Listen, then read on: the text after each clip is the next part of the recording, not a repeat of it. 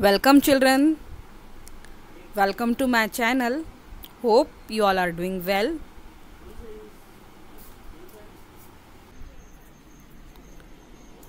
So, dear children, today we will see conversion of units. Any quantity that can be measured is called physical quantity. And we know that the standard or basic unit of length is meter and that of mass is kilogram and of capacity is liter. Measurement is part of our everyone's daily life and according to situation we try to use these units as per our choice.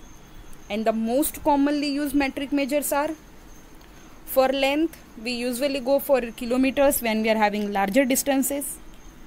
We'll choose meters we'll choose centimeters and milliliters for the smaller one units for the weight we are having common kilograms grams and milligrams.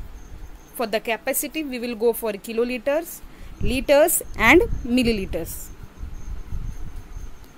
Friends in order to have accuracy and to avoid confusion in the measurement we often need to convert them from one unit to another unit.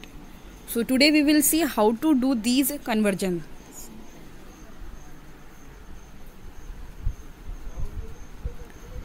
here we are having one complete chart. In this we will go for some units. We are having larger units smaller units base units.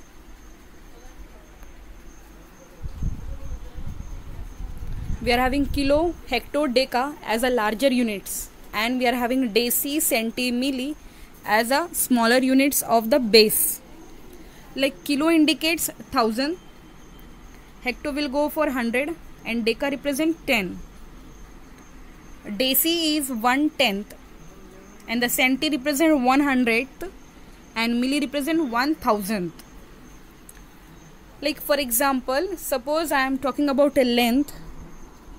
So if i want to say about larger units of length here i am having kilometer. We'll use k later for kilo we'll go for k. And we are having hecto 100 that is hm hectometer. And for a deca we are having da deca represent da and deci will go with d. Only d letter will represent d symbol will go with the deci.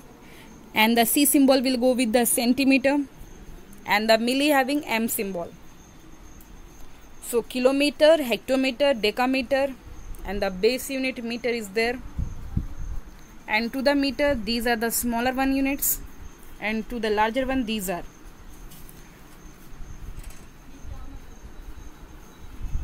For the weight we are having kilogram that is 1000 hectogram decagram decigram centigram and milligram just here we are seeing the notations the letters and the symbol. We will see how to convert them.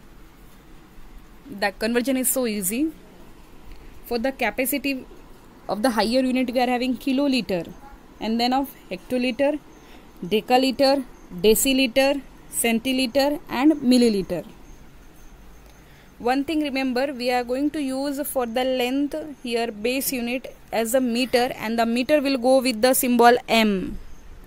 For the weight we are having here gram for the gram we will write g letter and for the capacity we are going to use here l.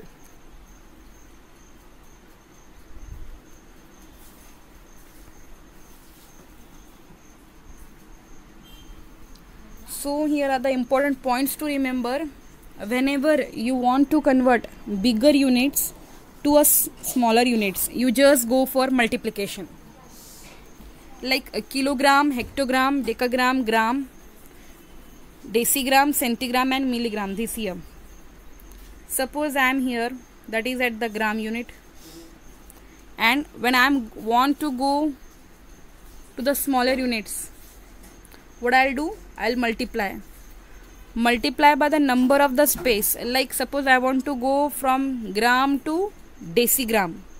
I'll just multiply with a single that is 10 because here gram and decigram is having only one jump so I will go with only multiplication 110 suppose I want to convert gram to centigram what I'll do? I'll multiply by 100 because here 1 and 2 jumps are there. And suppose I want to go for gram to milligram. Gram to milligram here I want to go so I'll multiply with 1000 whenever you are going to convert bigger units to the smaller one you multiply by counting the number of jumps. In the same way suppose I want to go from this gram to kilogram. Here gram is a smaller one and I want to go to the bigger unit kilogram so I will divide. Divide by how much? So I want to go three steps ahead okay? This is 1 2 and this 3 so I will divide by 1000 so whenever you are going to convert to smaller units you just go for multiply and count the number of jumps. And when you want to convert to a bigger unit you go for division.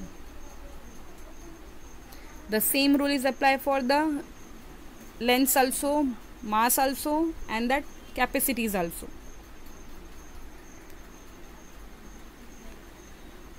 like we are having one shortcut here.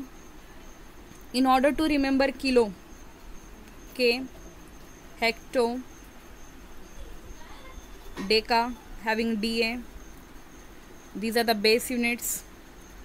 And thus just this d is deci centi and this is milli. Kilo hecto deca deci centi milli we will go for one shortcut. King henry died unusually drinking chocolate milk. Listen here this phrase you can remember. King henry died unusually drinking chocolate milk. The first letter of each of these word represent our conversion units. Like king k letter will denote kilo. Henry h will denote hecta hecto. Died first letter d will denote deca and unusually that are the units base units. And drinking d letter will denote deci c chocolate. And the milk milk first letter will denote, denote m. Don't get confused between deca and deci for a deca we will go for a da and for a dc we'll just go for small d. So here kilo represent 1000 hecto represent 100 deca 10 and this deci is 0.1 that is 1 tenth. Chocolate is 0.01 that is 100th part. And the milk represent 1000 point 0.001 so kilo hecto deca larger units deci centimilli smaller units. Remember these phrase? King henry died unusually drinking chocolate milk that's kilo hecto deca deci centi milli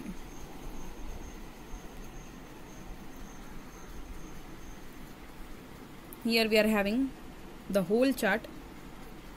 That's a metric conversion which is very important. Here we are having the first line that is king henry died unusually drinking chocolate milk represent larger unit kilo thousand hecto hundred deca 10 and then meter liter gram. That's are the base units one units and the deci centimilli smaller units. And remember whenever you want to go to smaller units we just need to multiply by 10 100 1000 same as moving decimal point as one space to the right like we have done in the decimal. And whenever you want to go to the bigger units from here you want to go to this side you will divide divide by counting the number of spaces between them. And whenever you want to multiply you will come to the right hand side. You need to go to the smaller units you will multiply. Remember these steps. In our next session i will show you all the detailed examples and we will once again revise it. Hope you have understood. Thank you